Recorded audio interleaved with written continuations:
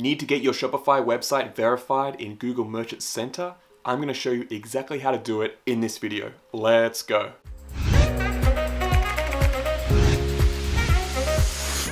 Hey guys, in this video, I'm going to show you how to get your Google Merchant Center account verified with your website for your Shopify store.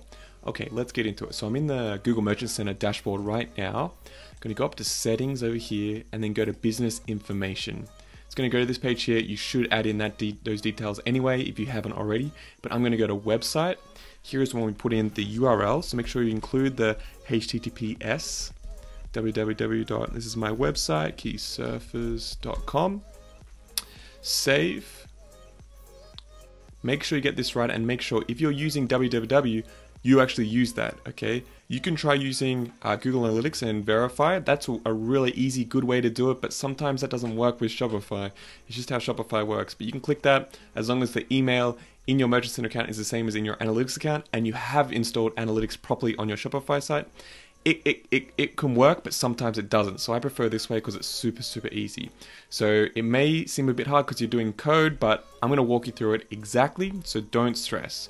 So um, firstly, go over to here that says I have access to my server. And then here you can select these two options, but we're definitely going to choose this one.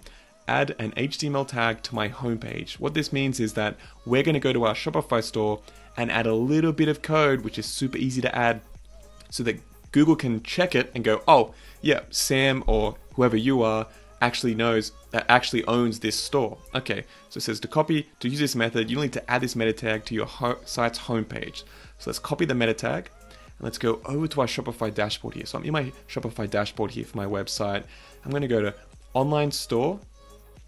It's going to open up the themes panel here. So this is just the, the default theme that's installed, but we're going to edit, edit this anyway. Go to edit code and maybe this seems a bit scary for you if you haven't done much HTML work or code work at all, but I'm, I'm going to make it really easy. So make sure you go over to theme liquid. So this should say theme.liquid here.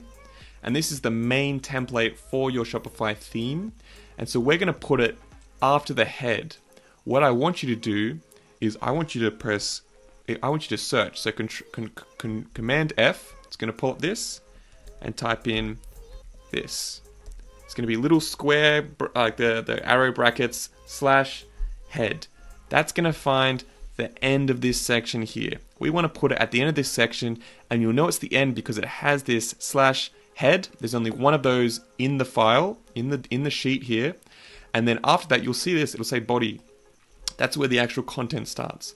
Don't worry about that too much. What we want to do is just before the, the head, we want to paste in that code that we got from Google Merchant Center. So it's this code here, you've copied that, and then you're gonna just gonna put it right here, super easy. We're then gonna click save. It's gonna save, and sometimes it takes about five to 10 minutes to actually show up on your website. Sometimes this happens. So what we can do now is we're gonna go back and click verify. But what I like to do sometimes is also just double check to make sure it's on the store. So you can click the little eye symbol, it's going to open up your own Shopify store. So here's my store, terrible store, I haven't done anything to it yet.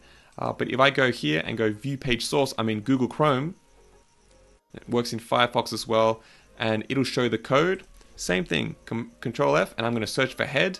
Oh, there it is, and there's that bit of code that I added. So that's now live on my website. So now it just means that Google needs to make sure that they've crawled that site and shows it there. So let's verify and see if this works. Give it a second. Boom! We're now verified. Woohoo! Yeah, verified. Now we need to claim our website URL. So that means that only we can use that. Boom!